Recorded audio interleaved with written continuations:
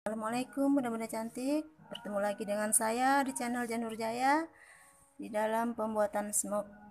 Kalau biasa kita membuat smoke di kain satin Maka kali ini kita akan mencoba membuat di pita satin ya bunda. Bahan-bahannya tentu saja Pita satin Mucin Terserah mau ukuran berapa dan warna apa jarum dan benang jahitnya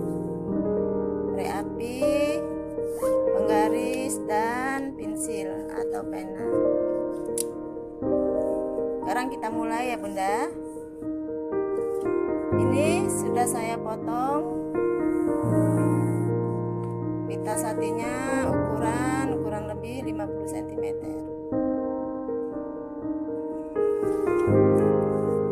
Lebarnya saya pakai yang ukuran 2,5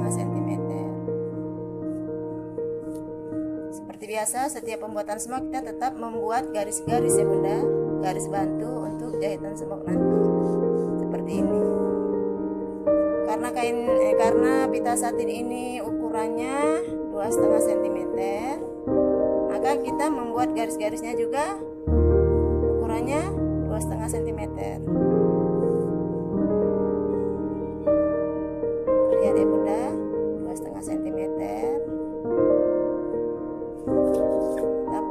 sepanjang pita yang sudah saya potong 50 cm tadi.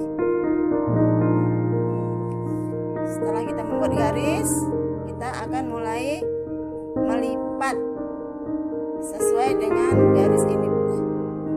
Lipat seperti ini. Kemudian ditekan. Agar menghasilkan bekas lipatan seperti ini ini kita lakukan di setiap garis ya bunda.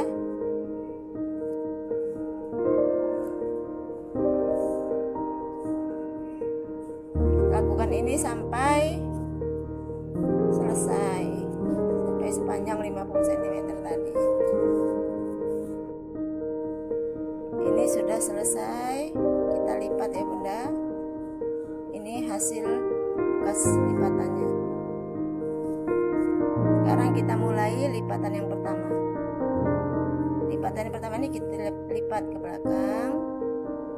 Kemudian kita lipat kembali seperti ini.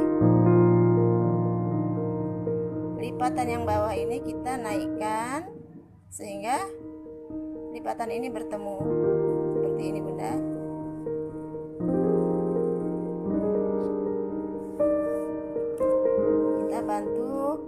mengikatnya dengan benang. Kita jahit di tengahnya seperti ini. Kemudian untuk lipatan yang kedua kita mulai dengan lipat seperti ini.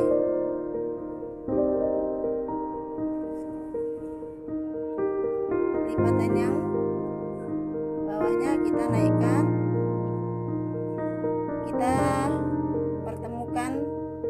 kedua lipatan ini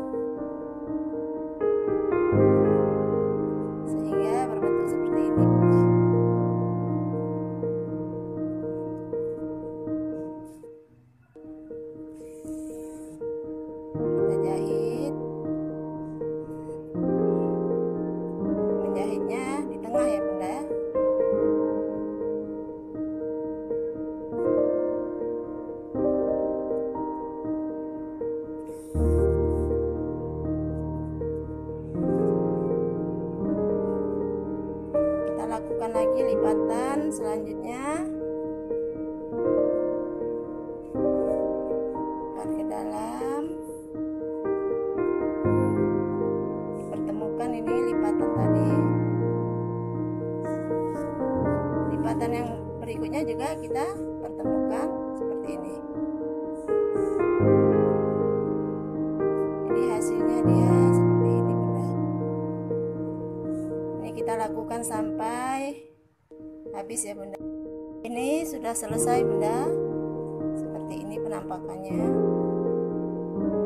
Bagian belakangnya juga serupa bagian depannya. Sekarang kita ambil bagian seperti ini. Kita ambil tengahnya.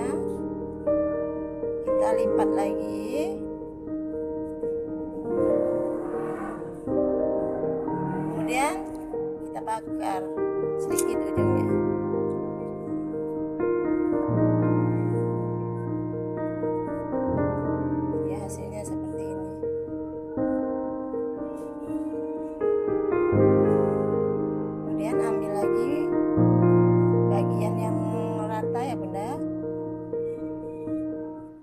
tengahnya kita lipat.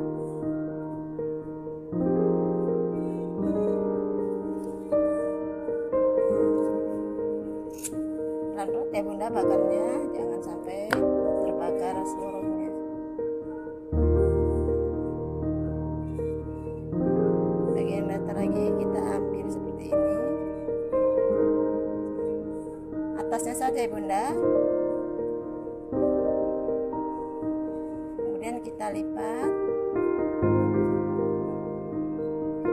di tengahnya. Seperti ini. Kemudian ujungnya kita bakar sedikit untuk mengelemnya dan lengket. Kita lakukan sampai habis ya bunda. Ini hasilnya bunda. Penampakannya seperti ini. Kita bisa menyelesaikannya sampai di sini saja atau akan kita tambah manik-manik atau mute atau mutiara. Terserah mau pakai warna apa. Sini saya akan pakai warna putih. Ambil bagian tengahnya ini bunda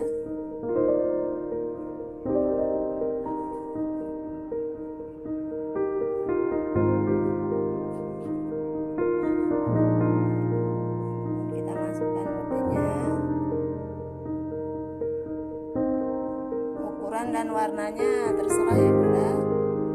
Bunda sukanya warna apa? Atau stoknya warna apa? Ini hanya untuk mempercantik tampilannya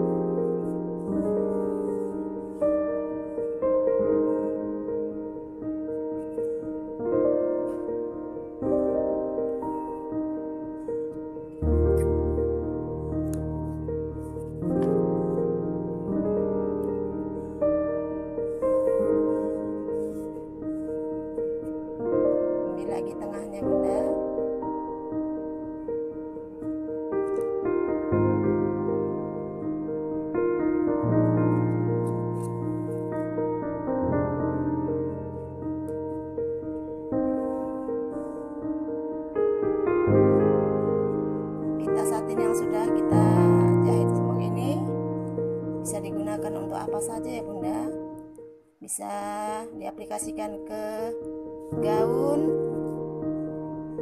bagian pinggangnya bagian ujung lengannya atau bagian lehernya sangat cantik bunda.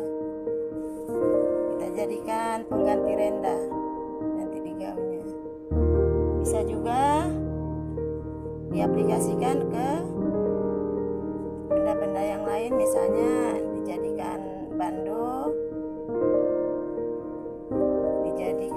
hiasan tas.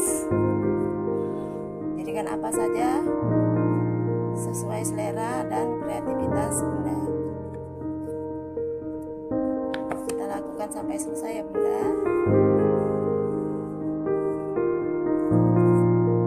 Inilah hasilnya bunda penampakannya. Cantik sekali kan bunda dari pita polos seperti ini bisa kita jadikan lebih cantik seperti ini. Ke bunda selamat mencoba. Jangan berhenti berkarya ya bunda. Jangan lupa tombol like subscribe dan di share ya bunda. Semoga bermanfaat saya sudahi dulu pertemuan kita kali ini. Assalamualaikum warahmatullahi wabarakatuh